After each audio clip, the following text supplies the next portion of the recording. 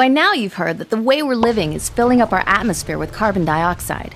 As a result, the planet's warming. Heat waves and floods are more likely to be extreme, and people's lives will get tougher. And the more we learn about climate change, the more risks we uncover. Since we started burning fossil fuels, the ocean has absorbed about half of all the CO2 we humans have put out. That's why it's called the planet's biggest carbon sink. Now, this is good because it's kept a lot of CO2 out of the atmosphere. But as the ocean warms, it takes up less and less CO2. And with all that CO2 in the sea, scientists are shedding light on, well, an ocean of problems. Ready for the first big problem? Some sea creatures like clams, oysters, and coral, their shells and skeletons are getting weaker. Okay, you've got bigger problems than easy to crack clams? Maybe not if you're among the one in seven people who get most of their protein from seafood or if you understand how unstable the world would be with a billion more hungry people. What's weakening the shells?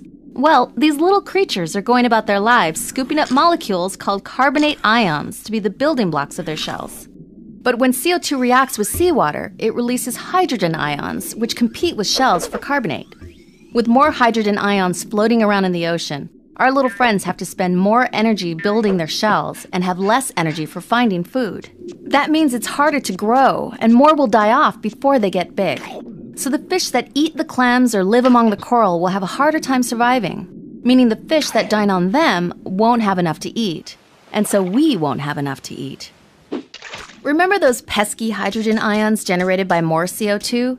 They don't just take away the carbonate ions that these little clams need, they also make the ocean more acidic. It's already become 30% more acidic since we started spewing all this CO2, and it could get much worse. We could change the ocean's chemistry so much that shells actually start to dissolve. That means if we don't turn this problem around, your great grandkids might think of reefs the way you think of a dodo bird. And with one in four ocean species living in coral reef ecosystems, weaker coral could threaten the foundation of the whole ocean food chain.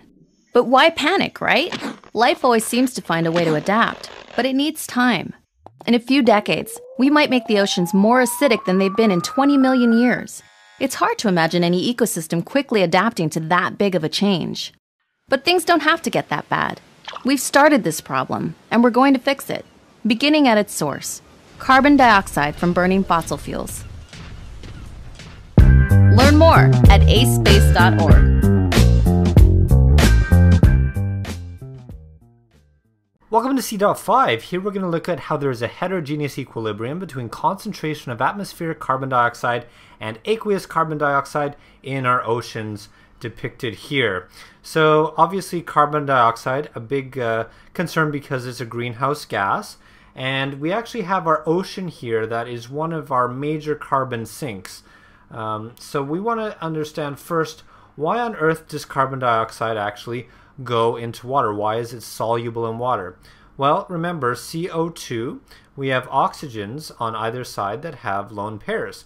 And that can form then hydrogen bonds with the water, the hydrogens in the water. So it is quite soluble. So here we're showing sort of an equilibrium where we have the carbon dioxide um, dissolving uh, and also some being released at the same time. And that just happens as a sort of balance. And right now is still absorbing a lot of carbon dioxide. So the aqueous here shows it's in the ocean. And what happens now is it reacts with the water to form carbonic acid. So carbonic acid is a weak acid, and obviously that causes what we call ocean acidification. It causes a pH level of our oceans to actually drop. So this is a bit of a problem the hydrogen carbonate actually dissociates as a weak acid into hydrogen ions and hydrogen carbonate, and that hydrogen carbonate can further dissociate into another hydrogen ion and a carbonate ion. So what we end up here are some extra hydrogen ions, and when that extra acidity actually inhibits the shell growth of many of the marine species that have shells. And so if they can't develop their shells, uh, and they often form the base of, of the food chains, um, in many cases, are the lower parts of it. Um, that can cause a lot of repercussions in the larger species as well. So we're actually monitoring this, and the early alarms are quite um, quite serious. it also causes some reproductive order disorders in some of the fish. So to put it in perspective, um, before the the extra CO2 we pumped into the atmosphere um, was there, the past 300 million years, our oceans had a stable pH of 8.2. And now, just in the last couple hundred years since the Industrial Revolution, that has decreased by 0.1. Now, you might think, oh, 0.1, well, that means nothing. Well, you have to remember uh, and make a connection to what the pH scale is, and that's a logarithmic scale. So, a change in 0.1 is actually quite significant, and actually, this 0.1 represents a 25% increase in acidity. So, it's quite a serious issue. We really need to stop putting carbon dioxide into the air.